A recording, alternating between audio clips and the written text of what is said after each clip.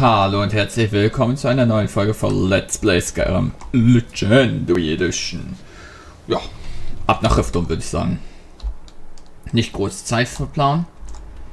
Wir wollen in Rifton Geld bekommen, weil wir jetzt so arm wurden. Ich sag ja nur 25.000 ähm, Gold Verluste in den letzten drei Folgen. Okay, wir hatten auch ein minimal extrem ähm, ausschweifenden Lebensstil. Aber es macht ja nichts. Ich meine, wir haben uns Diademe für 6000 oder so gekauft und die in unsere Kammer gelegt. Ähm. Ne?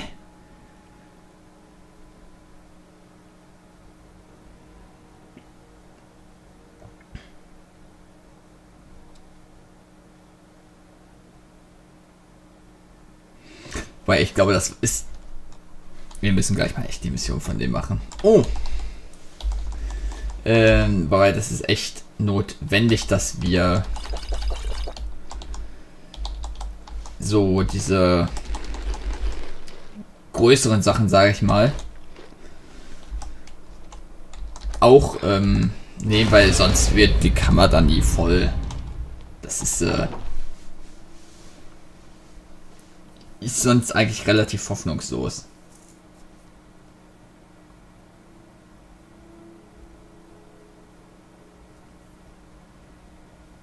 Ihr kommt von einem Auftrag, hä? Oh ja.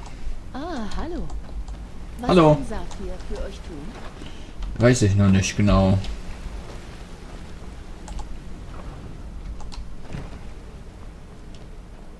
Tag, Knives. What is it? Yeah, it doesn't know.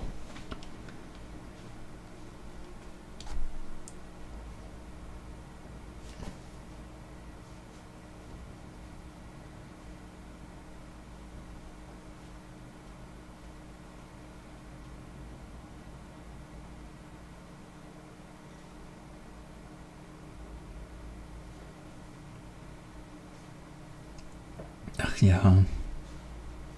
Immer diese Ladebildschirme. Es ist vor allem. Ähm. Jetzt weiß ich nicht mehr, was ich sagen wollte. Wahrscheinlich wollte ich nie was sagen. Ich habe ja vor, das auf eine SSD zu packen, ne? Skyrim, so. Damit die Ladebildschirme auch viel kürzer werden. Und äh, ja, das ist eigentlich gut. Eh, mein PC, das wird. Das nette Ding wird demnächst extrem aufgerüstet. Noch habe ich ja, wie ihr seht, das ist ja Full HD höchstens, beziehungsweise gerendert in 720. Ähm, PC kommt ja noch aufgerüstet. Der, es fängt ja jetzt an, die neue Aufrüst-Session quasi, sag ich mal. Äh, äh, ich muss das erklären.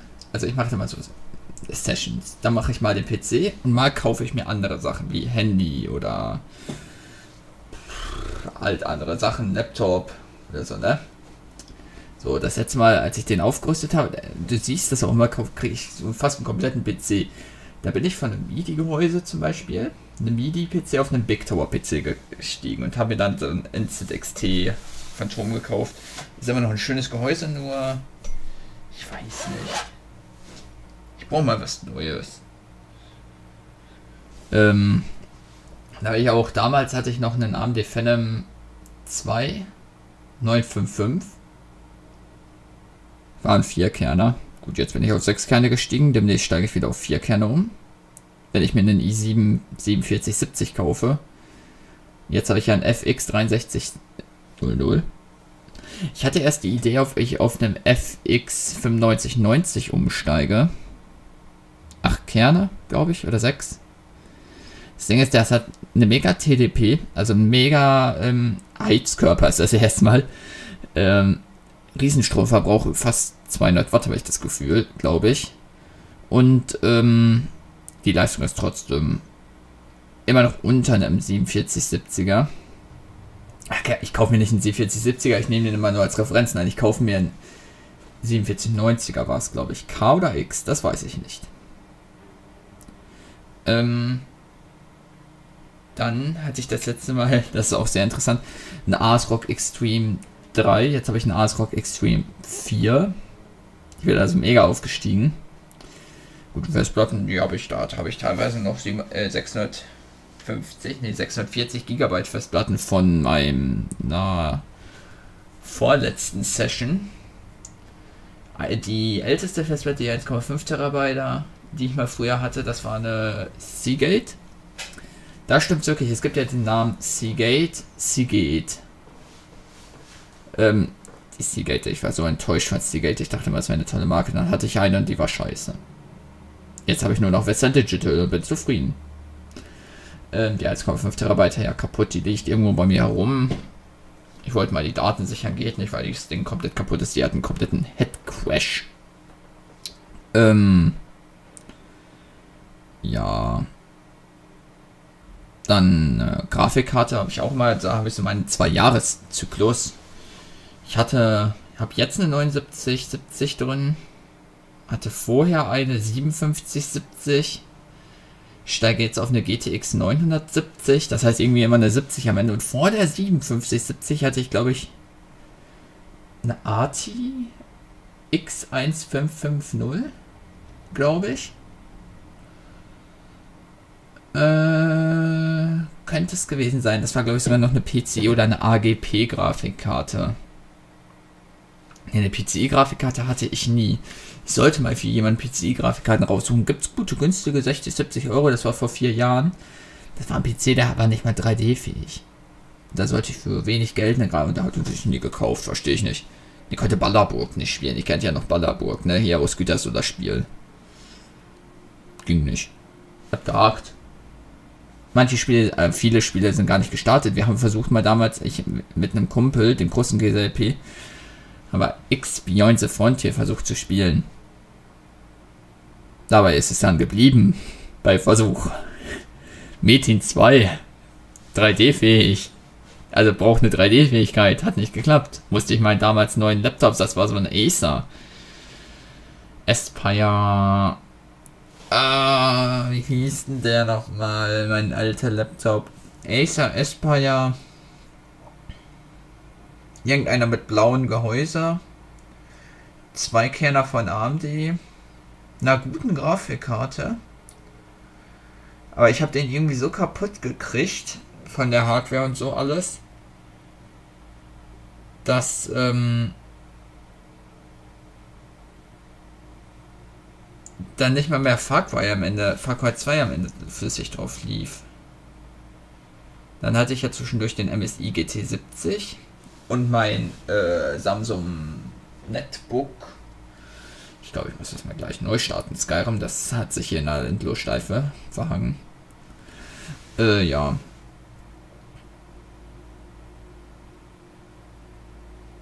Genau. Arbeitsspeicher ist auch immer da.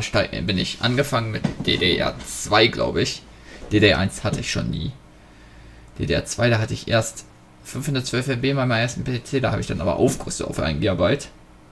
Hatte ich zwei. Bei der Generation 5770 hatte ich dann 4 GB DDR2, glaube ich. Oder war das schon DDR3? Weiß nicht. Dann hatte ich DDR3, habe ich aber, glaube ich, direkt 8 GB gemacht, meine ich. Von Corsair. Bin jetzt immer noch bei 8 GB. Ihr wisst ja nicht, ich rede ja so gerne von meinem Arbeitsspeicher. ähm, bin aber auch mal überlegen, ob ich den wirklich aufrüsten muss auf 16 oder 32. 32 werde ich wahrscheinlich nicht tun, 16 ist günstig. Könnte ich mir aber auch für dasselbe Geld eine SSD holen. Ich habe nur schlechte Erfahrung mit einer SSD hier. Das ist eine SSD, die ich hier in der Hand habe. Direkt, direkt auf meinem Schreibtisch so eine OCZ Vertex 2 gutes Ding, nicht nur nicht in meinem PC, sondern außerhalb, weil es eine kleine Festplatte ist. 64 GB SSD, das war von damals noch, da habe ich 150 Euro für bezahlt. Wollte ich Windows drauf installieren. Auf einer 64 GB SSD. Jetzt könnt ihr euch äh, vorstellen, warum ich schlechte Erfahrungen hatte. Windows 64 GB mit Dokumente und Einstellungen dem Ordner, beziehungsweise meine Dokumente, je nachdem sucht euch aus. Ähm, nein. Da, also wenn jemand eine SSD unbedingt als Windows-Festplatte braucht, 128 würde ich auch schon als zu klein ansehen. 256 Minimum, würde ich sagen. Ich weiß nicht mal, ob sich das lohnt als Startfestplatte. Wow, da hast du deinen Windows-Start in 10 Sekunden. Uhu. Ist ja auch so, dass das die wichtigste Phase des Tages ist. Du kannst den PC anmachen, kurz in die Küche gehen, äh, dir eine Flasche Wasser aus dem Kühlschrank holen und dann ist der PC auch mit einer normalen HDD gestartet. Wenn du nicht alles verkackt hast. Ähm, deswegen, also, das verstehe ich nicht. Ich mach mal gerade kurz. Wir reden danach weiter. So, da sind wir wieder. Können auch schön wieder weiterreden. Ähm, genau, äh, was ich sagen wollte. SSD. Genau, wenn man schon unbedingt eine SSD haben will, komm. Dann ähm, macht's vernünftig. Kauft euch eine SSD, da geht sogar eine 64er. Das werde ich dann nämlich auch tun, wenn ich die nächste Generation habe. Und installiert bestimmte oder alle Spiele, je nachdem wie viele ihr habt, auf dieser SSD. Das lohnt sich nämlich. Ich werde das machen. Diese 64 GB SSD werde ich auf mein nächstes Mainboard packen, weil mein derzeitiges ist, sind alle SATA-Anschlüsse besetzt. Und da werde ich Skyrim dann nämlich drauf installieren und erhoffe mir große Frame ähm? Power. Diese Arbeit liegt euch. Sie wird euch mit der Zeit reich machen. Ich weiß. Ich bin für die, die... Wenn ihr Einbrüche bevorzugt, Ähm, dann sprecht mit Vex. Ach, das ist ein Bilanzauftrag. Die meisten Unternehmen nennen euer Lust den Griffel. Ja, ja. Sehr gut. Hier ist euer Auftrag. Ähm, äh, werde ich erstmal Skyrim 64 GB muss ich wahrscheinlich vollkommen auch dafür ausnutzen, weil mit meinen ganzen Mods und alles. ne? Ist, ist nicht klein, mein Skyrim-Ordner. Und von Sky, also 10 Frames pro Sekunde bestimmt. Kann ich mir, wenn ich realistisch denke? Doch. Besonders, weil der muss ja die ganzen großen Texturen, die, die ganzen Mods laden und das ist auf einer SSD natürlich bedeutsam schneller. Ähm, vielleicht kaufe ich mir dann, wenn ich das nicht für die SSD ausgebe, auch ähm, noch eine. Ne, wenn, warte, ich fange den Satz nochmal an. Wenn ich das Geld nicht für Arbeitsspeicher ausgebe, kaufe ich mir vielleicht auch noch eine SSD, so. Die sind ja jetzt extrem günstig. Da kriegst du ja eine 256er für 100 Euro. Das würde ich auch für 8 GB Arbeitsspeicher ausgeben. Guten Arbeitsspeicher. Ich habe Corsair drin. Guten Arbeitsspeicher also. Ähm. Und auch nicht das Billigmodell. So, ähm. Dann wollte ich da so immer mal wieder so die Let's Play-Spiele, die viel Leistung brauchen, drauf installieren. Oder Spiele, die allgemein viel Leistung brauchen. Hier Crisis 3, Battlefield 4. All das typische halt. Ich kann einfach nicht anders. Es ist so, als würde ich. Als würde ich Alkoholabhängiger sein, der vor so einer Alkoholflasche steht. Ob ich mich behandeln lassen sollte. Ich bin süchtig nach Alchemie-Zutaten sammeln. Nicht? Okay. Ähm. Joa. Jetzt haben wir über die Festplatten geredet. Wir haben über die Grafikkarten geredet. Ähm, über SSDs, über Arbeitsspeicher haben wir geredet, über Prozessoren haben wir geredet. Ja, 4790. Overclocking. Also ich habe mein 955 habe ich damals übertaktet. Das war ja ein 4x3,5er, meine ich. Äh, den habe ich übertaktet auf 4,0, glaube ich. Da habe ich denselben CPU-Lüfter wie jetzt, glaube ich, drauf. Das ist der, wie heißt denn der? Zahlmann CNPS 10X, glaube ich. Ich habe es versucht zu lesen, aber es ging nicht so gut. Ähm, ich bin sehr hungrig und ja. Ja, hat eigentlich ganz gut geklappt. Ähm. Nicht schon wieder.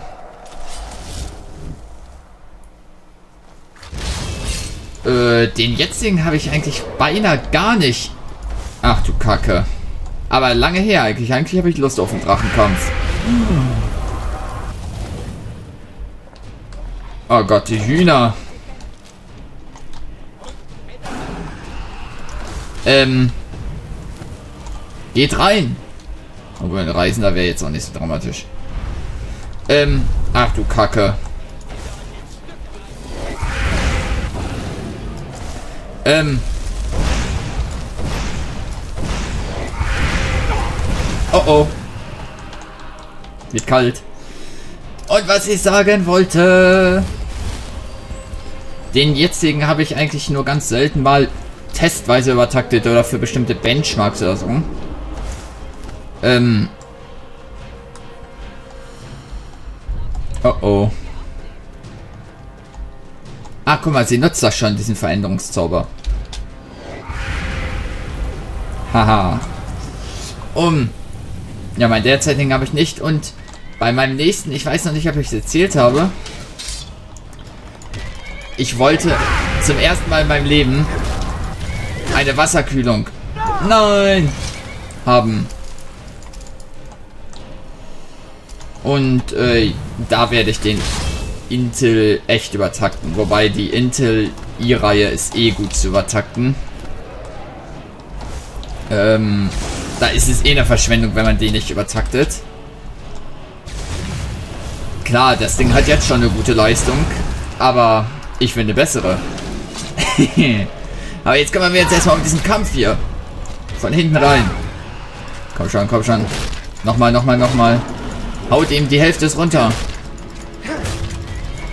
Oh oh. Ein starker. Komm schon, komm schon, komm schon. Ironie des Schicksals, ihn mit einem Drachenknachen zwei Händer besiegt. Hey, hey, hey, rutsch hier nicht runter. Eben Erzrüstung. Äh, ne, Eisenrüstung.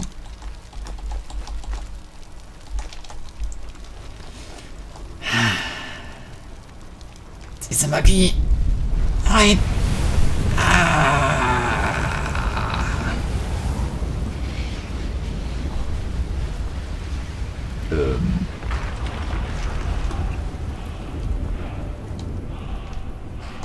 Der ging sogar recht schnell. Vier Drachen sehen, ja okay, dann lohnt sich das nicht, weil ich anscheinend wahrscheinlich schon alle... Jo.